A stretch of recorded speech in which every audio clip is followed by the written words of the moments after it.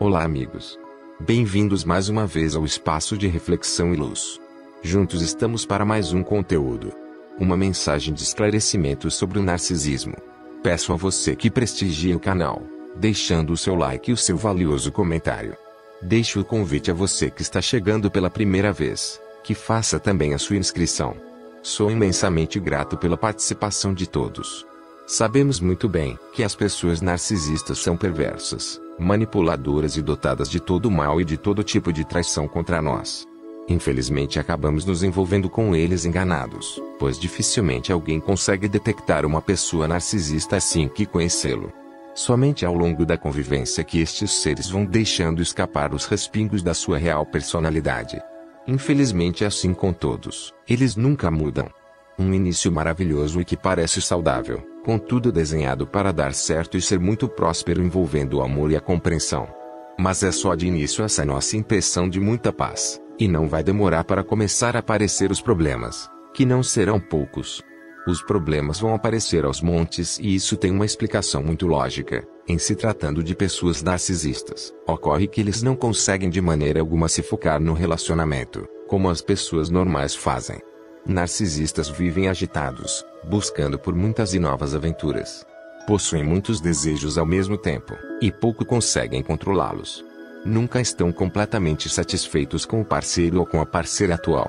Acontece ainda que o narcisista precisa sempre estar um pouco acima de você. O grande problema nesta questão é que na maioria das vezes acabamos nos conformando com isso e aceitamos a condição de segundo lugar. Ficará a impressão que o narcisista está com você puramente de favor, uma sensação horrível de total desamparo e insegurança. Isso explica, dentre tantas outras ocorrências, o motivo pelo qual a pessoa narcisista não demonstra qualquer preocupação se a relação dar sinais que poderá acabar. Mas para acabar precisa ser dentro das regras do abusador. Sendo dentro das condições do narcisista, não terá qualquer importância ou problema se tudo acabar hoje ou acabar amanhã. Eles não sentem o baque da ruptura de uma relação, assim como sentem as pessoas empáticas. Nada no relacionamento estava prendendo o abusador a você. Ele só não aceita e ficará furioso se você descartá-lo. A única condição diante da qual o narcisista perderá suas forças.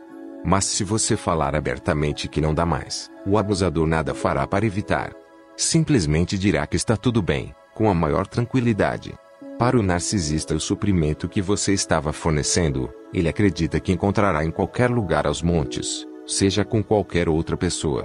Por isso acabam errando, muitas vezes e perdendo boas fontes. Mas o narcisista não admite que errou com você.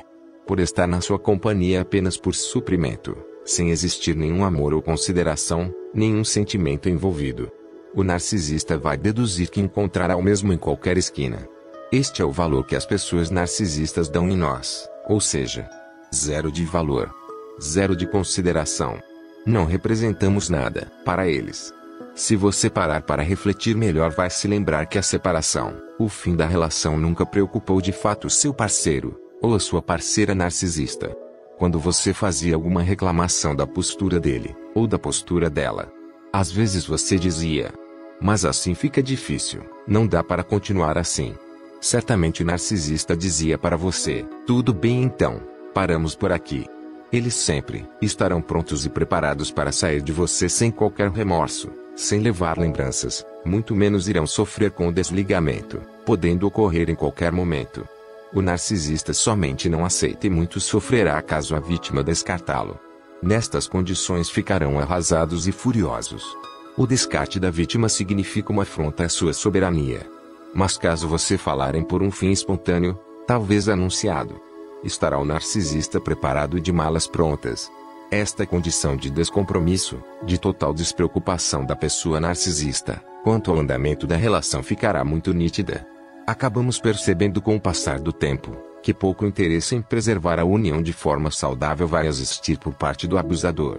Não existe vínculo de amor e de afeto, portanto nada vai prender o abusador narcisista em você. Para o narcisista sempre é momento de encerrar a relação, basta a vítima dar qualquer sinal. Prefere essa alternativa quando você reclamar, do que buscar por mudança ou se desculpar. Simples assim. Quando a vítima insinuar, assim não dá. Ele dirá: Você é quem sabe. Então paramos agora. Eles dizem isso e já consideram praticamente tudo acabado. Ficam frios e nada fazem para evitar. Caso a vítima correr atrás, a relação continuará por mais algum tempo. Por isso não sentimos qualquer segurança numa relação assim.